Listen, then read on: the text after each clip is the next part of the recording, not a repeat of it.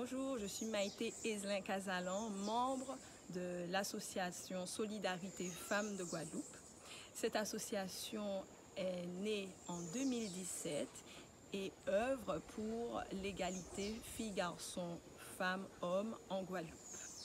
Nous avons une attention particulière pour la jeunesse euh, dans nos actions. Nous sommes, je ne pouvais pas être présente aujourd'hui, mais je suis ravie de vous présenter euh, notre projet qui a été euh, lauréat du festival. Nous avions plusieurs envies. La première, c'est de défendre la question de l'égalité euh, filles-garçons, femmes-hommes en Guadeloupe. Nous avions aussi la volonté de, de faire mieux connaître l'histoire de la Guadeloupe et notamment l'histoire des femmes de Guadeloupe, puisque l'on s'est rendu compte qu'il s'agit euh, euh, de, domaines qui sont encore mal connus euh, des Guadeloupéens. Et c'est ainsi que nous avons eu l'idée de partir du personnage historique de Marthe Rose. Marthe Rose était la compagne de Louis Delgrès, qui en 1802 euh, à lutter contre le rétablissement de l'esclavage en Guadeloupe.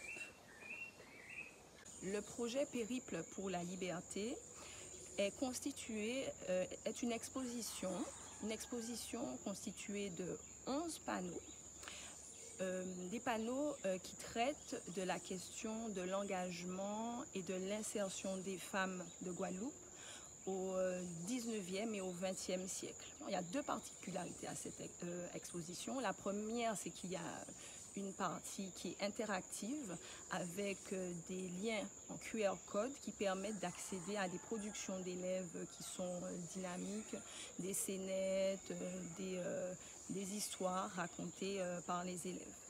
L'autre particularité, c'est que l'exposition a été entièrement réalisée par des élèves et leurs enseignants qui sont dans le bassin du sud Basse-Terre. Donc nous avons deux écoles primaires, nous avons trois collèges et deux lycées euh, dont les élèves ont directement contribué à la rédaction euh, de, ces panneaux et donc de l'ensemble des productions. Cette exposition est itinérante, elle, a été conçue pour être itinérante pour qu'elle puisse avoir une diffusion dans les différents établissements de Guadeloupe, de Martinique, voire euh, de l'Hexagone. Avec ces 2500 euros, nous pourrons ainsi poursuivre les actions qui sont menées par Solidarité Femmes de Guadeloupe, des actions euh, que nous avons initiées depuis 2017.